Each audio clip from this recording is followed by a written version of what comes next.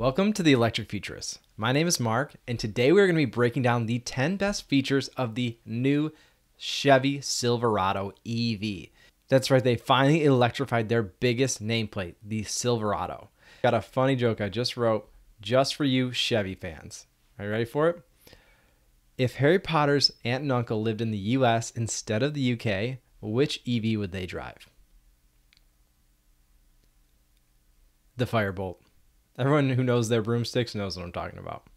Before we dive into the 10 best features that I think the Silverado brings to the market, let's dive into the CES 2022 virtual announcement that Chevy just came out with.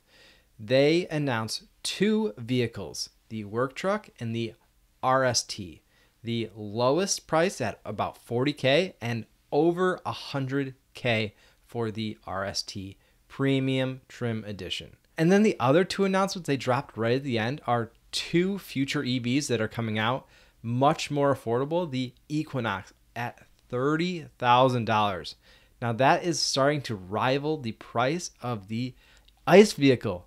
And I'm so excited to see prices compete with ICE. That is a great future that I want to live in. And the second car they previewed was the Blazer. Stick to the end to hear what my personal thoughts are on what I like and dislike about this truck it really does help me start and launch this channel if you could subscribe, like, and check out the merch in the description. I just dropped the first round of merch, and I'm really looking forward to making more videos about the electric future coming from you live from the Electric Motor City, aka Detroit, Michigan. So, subscribe and let's explore the electric future. Let me know what you think is the biggest game changer in this electric truck market because it is heating up and there's a lot of competition now. Number one, these work configurations. Coming out with a work truck as their first and most affordable one means that they are really aiming to be the truck that can do what you need to be done. Whatever your needs are, there's a ton of customization that they showed off with the bed, the frunk, and for fleet operators and construction and commercial uh, uses, there is going to be specific things that are going to really work well for your business with this truck that can be customized for your work environment. It's really cool to see the potential for you to use this truck on the work site.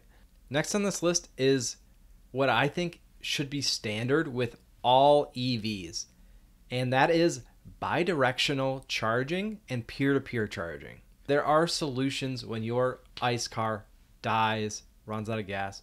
But electric cars, it's it's still new. What happens if your car dies?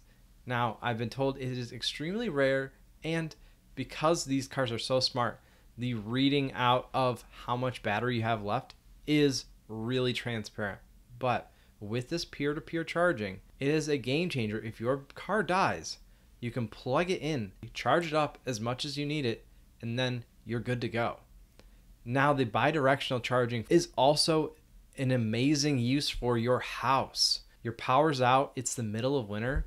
All of a sudden, your car can heat your house a little bit, keep your food going, basic essentials. Now, here in Michigan, I know that feeling because it was five degrees this morning. That is freaking cold. If our power went out, that is dangerous levels. And Texas went through it. We're not alone. Depending on where you are, it could get worse. So, having this as a backup is awesome. Number three, another feature that I think is really important for this truck is the power base 10 separate outlets for you to charge and power, whether you're camping, you're on the work site, whatever your needs are. 10 outlets is an insane amount of power that you can bring to wherever you are with this truck. You've got this massive Ultium battery, and this power base lets you make the most of it. Now, a total secondary amazing feature that comes with most electric cars and trucks is the frunk. And Chevy went ahead and decided we don't like the name frunk. We want to be different. We want to have something added to market and have our own unique term. So they introduced the e trunk. Now, it is electric it does open up and it does have outlets. Sure, throw an E in front of trunk, but I'm just going to call it a frunk. And this E frunk checks a lot of boxes. You can pop it open with the app in the cabin or the key fob, and it will have the outlets and it has a ton of room. Because this truck was built from the ground up, they really maximize that space. It is going to be a huge benefit for storing things, powering your workstation, and these frunks really change the way that we think about trucks as needing to throw everything in the bed or having something that feels like a normal, say, SUV trunk. Clean, easy access. Now, driving a truck is often hard, especially parking. Now, I used to valet in the Metro Detroit area, and I really struggled getting in and driving other people's massive trucks and parking them in really small parking lots. The maneuverability is not easy. Now, I am not been a truck owner, but I've driven trucks and their turning radius and their maneuverability in tight spaces is difficult. And hearing about this four wheel steering. Now, this is the same trick that it's borrowing from the Hummer EV, is coined the Quadrasteer. So, the Quadrasteer is really going to help the turning radius, the maneuverability, and whether you're off roading or in a tight spot just trying to park, this four wheel steering is going to be a game changer if you're used to a massive pickup truck all right, let's talk specs for a second. Torque, speed, towing. Personally, don't care that much about torque and the their wide open watts because I really don't drive over the speed limit and it's fun to accelerate fast a few times as a trick, but does it really affect how I'm driving day to day? No. The first edition RST gets up to 664 horsepower and 780 pounds of torque. Now, the standard work truck will receive 510 horsepower and about 615 pounds of torque. Also, towing capacity is up to 10,000 pounds with the RST. Unfortunately, compared to the Lightning's capacity for payload, which is 2,000 pounds, the Silverado only has about 1,300 pounds of payload. Next on this list is arguably the most important number that they came out with, and that is 400 mile range. That is impressive. That really makes you forget about range anxiety. Or if you're towing something and you have a ton of stuff in your truck, your battery is not going to be abysmal. In the US, in Michigan, we drive far distances often. Having that range just completely takes off the burden of the anxiety that you would feel. So the new electric skateboard build of the Ultium platform really shines. Capable of a really impressive quick charge.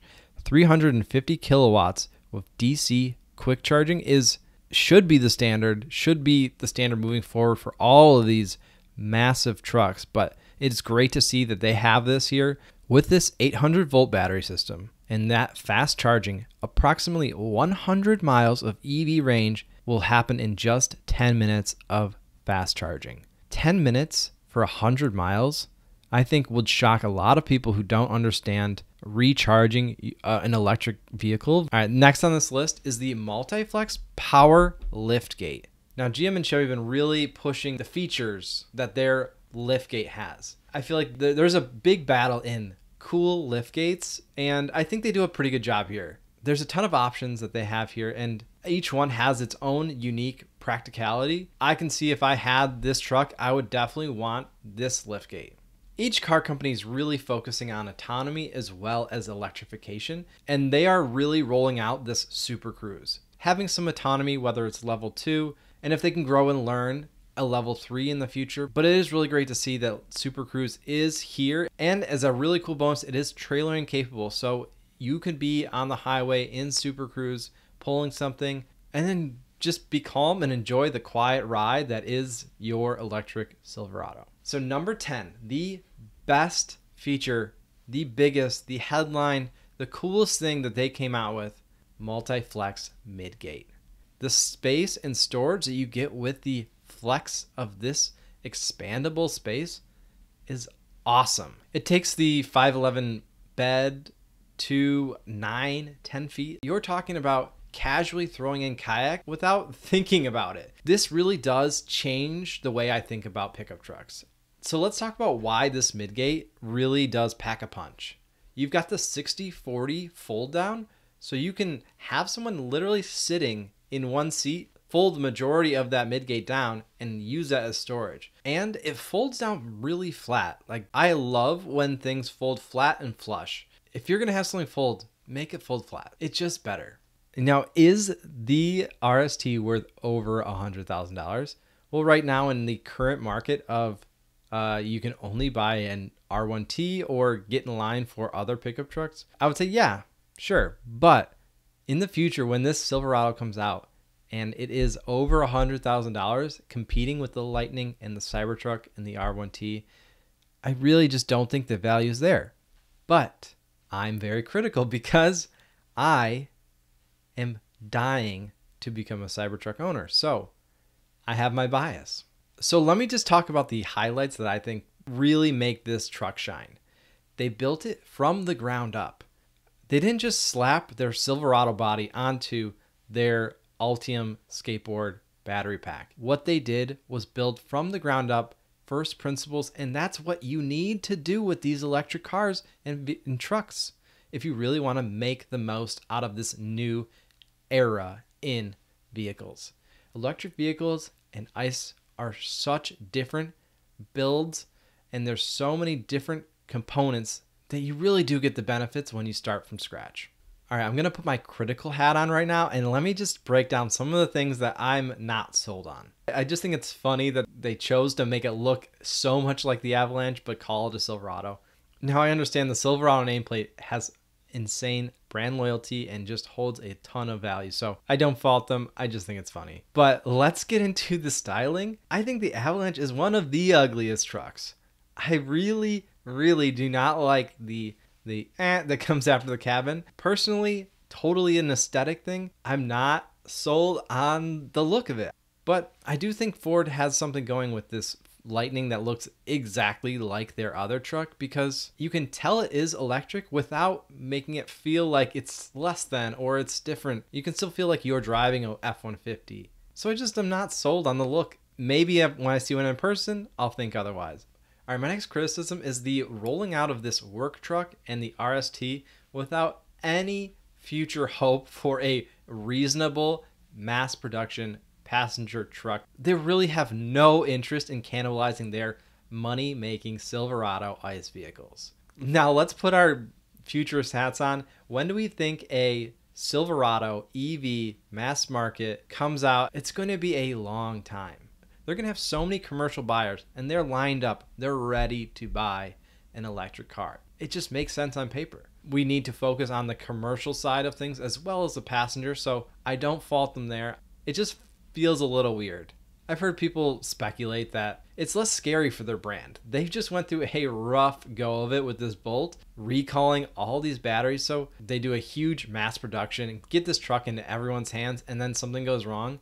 I think is their worst nightmare. To me, that makes sense to be a little weary and to slowly ramp up. It just doesn't leave me with the most optimistic hope for where they're going. Now, as a marketing and advertising guy, I'm very critical of the terms that they use and coin their features and their little things. And Chevy Silverado is definitely not short of them. They've got a ton of quirky names. Kind of building off their Ultium name is Ultifi, which is their over the air updating. Is it kind of like Wi Fi or I can see what they're going for, but really it just feels like a made up word and I have no idea what Ultifi means. Whereas if you just say over the year updates or software updates or in layman's terms. I like layman's terms. Just trying to come up with another name for Frunk, E trunk, that it's like electric. Yeah, I can charge things, so maybe that's why it's an E trunk, but why don't you just call it a Frunk? Uh, my next concern is with the software UI, and I'm really concerned about all of these car companies coming out with huge screens and not having great software UI. Apple and Google have been crushing this. Our phones and our tablets are so easy to navigate, and they've been doing it for so long. And now Tesla's really had a good head start. They've been crushing the software game because they roll out updates all the time. And this is where I'm really holding my breath. When I see those big screens, I just think, oh boy, there's going to be some really awkward, some really clunky navigation, and just confusion with the endless options that a screen like that brings. And then I'm also concerned that it doesn't bring the benefits that Tesla's bring with the YouTube and Netflix and gaming and amazing things like that. You have the screens. Are you going to be able to make the biggest use of them? I don't know. I think you really have to just get in there and touch it and feel it and navigate yourself, but that's a huge concern of mine. It's the reason why I bought a used car with the trim that does not have navigation because it would feel so old and clunky. It's an older car, so they didn't. There's no updating it. So the the thought of looking at like a 10 year old navigation screen, basically, I would rather print out MapQuest. All right, my biggest criticism for the Silverado is kind of just a blanket for most OEMs and legacy autos, but I cringe at these words like available and optional and just for an extra $10,000 you can have power lift gate. All of these core features that are really making this truck cool like the midgate being optional and it's not on the work truck.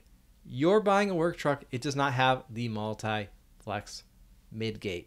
That's a shame. It really is. If you're coming out with this car and it, you have the coolest features, but we're going to charge you and nickel and dime you every step of the way, it just ruins the experience for me. I am pretty frugal, and so I'm going to look at that that spreadsheet and I'm going to say is this feature worth it? And there's going to be a ton of optional available features and I'm probably going to say no to most of them. And then I'm going to get a truck all of a sudden is way less useful and practical than I really hoped for.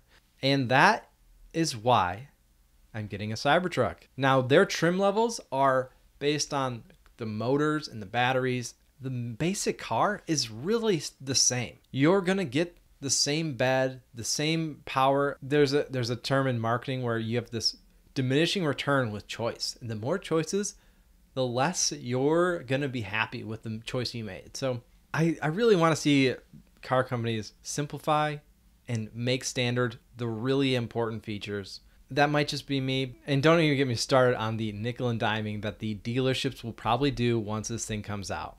So, the Silverado, it is clean, modern, brand new, fresh looking electric truck. And it's going into production really soon. You're going to be seeing work trucks in the RST potentially by the end of 2023. So that's really exciting. But the ramp up of mass production of this truck, I'm not sold on, but I really want to give Chevy the benefit of the doubt. And I really want to congratulate them. They are really pushing, or at least trying. They've been trying for a long time with the Bolt.